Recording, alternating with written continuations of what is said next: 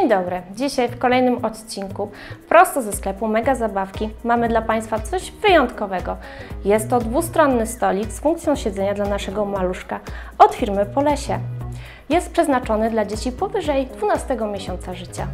Stolik składa się z 17 elementów. Możemy wyciągnąć przedni blat, przełożyć go na drugą stronę, dokręcamy i w tym momencie nasze dziecko bawi się klockami.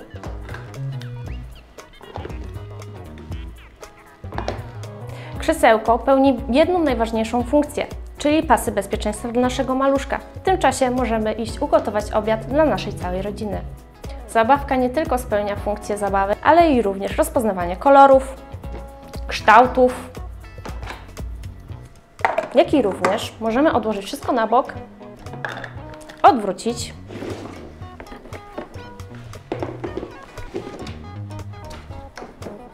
Przykręcić oczywiście, żeby nasze dziecko było bezpieczne w tym momencie. I stoliczek pełni funkcję teraz kolorowania i rysowania dla naszej pociechy. Zapraszamy do zakupu poprzez stronę internetową www.megazabawki.pl lub do sklepu stacjonarnego. Do zobaczenia!